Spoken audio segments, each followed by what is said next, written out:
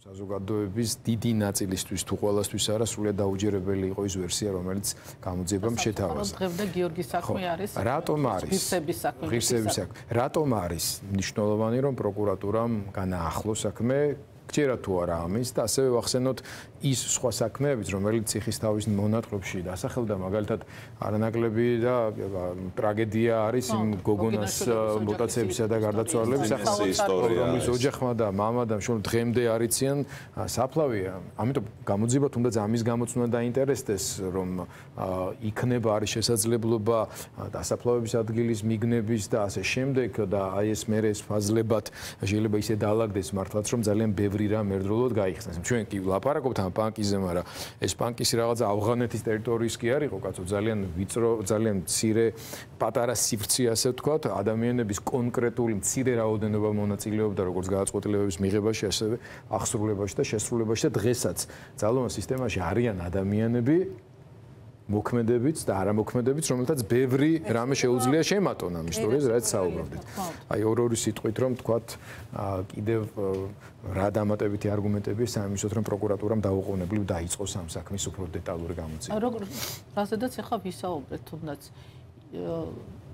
კონკრეტულად დასახელდა რამდენიმე ადამიანი, რამდენიმე გახმაურებული საქმე, რომლის შესახებაც ასეთი კონკრეტიკა აქამდე არ ყოფილა და სულ მცირე მართლა გოგინაშვილების საქმის ირგვლივ ხომ ყველაზე უფრო გაუხმაურებელი და უცნობი საქმეა, რომელზედაც პირდაპირ მტკიცებულების სახით თქვა ადამიანმა, რომ იცის რა მოხდა, იცის როგორ დაიღუპა და იცის ვინ გაიტაცა და რა ვითარებაში გაიტაცა.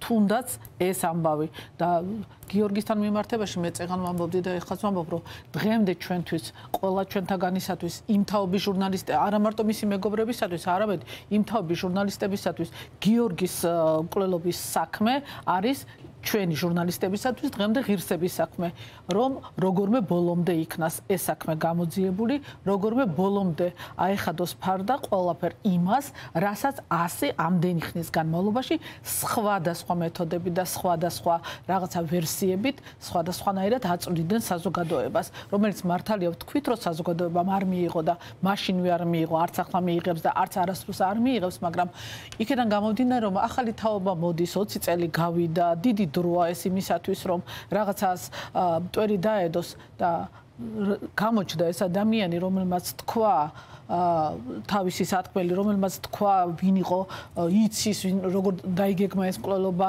იცის, როგორ მოკლეს გიორგი სანაია, იცის, რისთვის მოკლეს გიორგი სანაია და თუნდაც ამ ახალი გარემოებიდან გამომდინარე, რატომაც არ უნდა დაკითხვა მაინც რატომ არ უნდა დაიწყოს ამ ადამიანის? რატომ? მე მე გეტყვი რატომ და დაკითხვა იქნება თუ რაც არ უნდა გააკეთონ, მაინც ფორმალური იქნება და გეტყვი. აი მაგალითად ეს ამნისტიის კანონი, რომელიც იყო ახლა 12 წელს, ხო?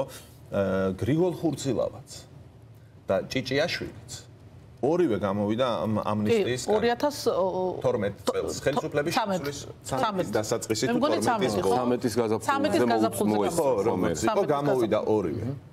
საქმის მთავარი გამყალბებელი სერგო ზაგნიძე 2015 წელს დანიშნეს თავდაცვის სამინისტროს სამხედრო. პოლიციის უფროსად. ახლა შინაგან საქმეთა სამინისტროშია მაღალ თანამდებობაზე ოთანაძე, რომელსაც ახსენებს ესე იგი ციხისთავი, პრაქტიკულად ყველა საქმეში რაც შემოთვალა, პოლიტპატიმრებისა და პოლიდევნილების შესახებ საქართველოს პარლამენტის დადგენილებით 2013 წელს გარეთ გამოუშვეს.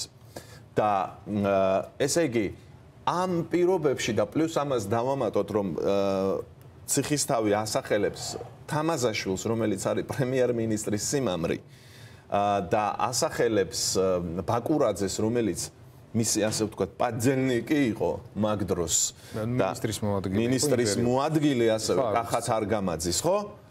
ანუ ეს არის იმდენი გარემოება, რა თქმა უნდა, თუ დაიწყებს, აბსოლუტურად ფორმალური იქნება და ან საერთოდ არ დაიწყებს.